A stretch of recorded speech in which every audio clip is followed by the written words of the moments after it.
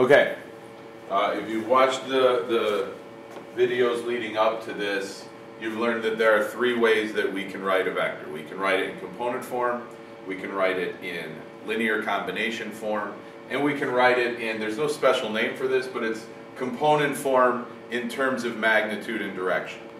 Okay, so you have, uh, and that would be what we talked about during this slide.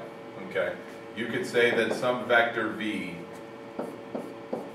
can be written with its magnitude followed by the cosine of its direction angle and the sine of its direction angle.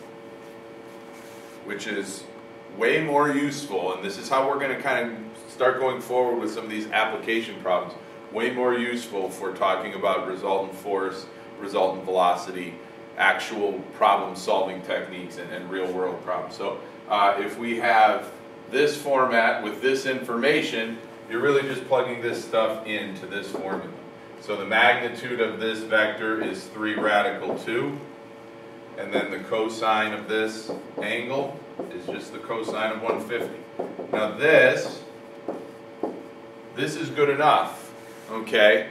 This does represent that vector. We want, we want to keep it like this for now because it tells us the direction this is headed in and it tells us how long the vector is, right? So we could actually draw a picture based on this, where if we have a vector that's traveling in a 150 degree direction, okay, so starting here, traveling over here to 150 degrees, okay? Now as far as the, the magnitude, remember the magnitude is the length, right? And you'll, what you'll learn soon is that the longer the vector, the faster the object, or the stronger the force. So we'll talk more about that in a little bit, but if we just put this here at 3 radical 2, this would be where the vector is, right? We talk 150 degrees from here, all right? And then this distance is 3 radical 2.